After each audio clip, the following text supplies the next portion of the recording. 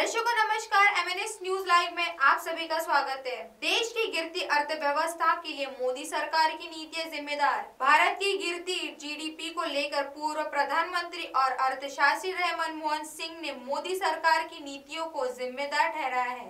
सिंह ने एक बयान में कहा है हमारी अर्थव्यवस्था व्यक्ति द्वारा की गई गलतियों से नहीं उबर पाई है, जिसने नोटबंदी और जीएसटी को जल्दबाजी में लागू किया। यह विशेष रूप से चिंताजनक है कि विनिर्माण क्षेत्र की वृद्धि शून्य दशमलव छह प्रतिशत पर आ गई है। केरल के नए राज्यपाल आरिफ खान प्रगतिशील मुस्लिम चेहरा। जाने इनके बारे में। केरल के नए राज्यपाल आरिफ मोहम्मद खान को प्रगतिशील मुस्लिम चेहरे के तौर पर जाना जाता है। उन्नीस सौ छियासी में शाहबानो केस में सुप्रीम कोर्ट को सांसद द्वारा कानून बनाकर पलटे जाने के विरोध में उन्होंने मंत्री के पद से इस्तीफा दे दिया था, जिस वंदे मातरम को लेकर मुस्लिम समुदाय आपत्ति जताते हैं, उसका भी उन्होंने उर्दू में अनुवाद किया था। बंगाल में भाजपा सांसद अर्जुन सिंह पर हमला, टीएमसी कार्यकर्ताओं ने कार में की तोड़फोड़, पश्चिम बंगाल में रविवार को भाजपा सांसद अर्जुन सिंह पर हमला और उनकी कार में तोड़फोड़ का मामला सामने आया है। पुलिस मामले की जाँच पड़ताल कर रही है।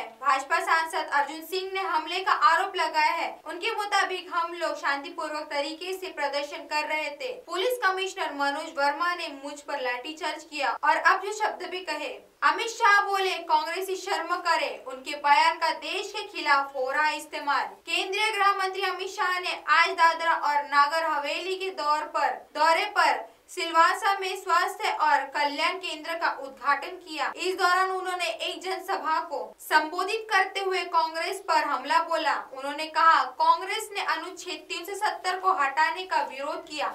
आज भी राहुल गांधी जो बयान देते हैं, उसकी पाकिस्तान में तारीफ़ होती है।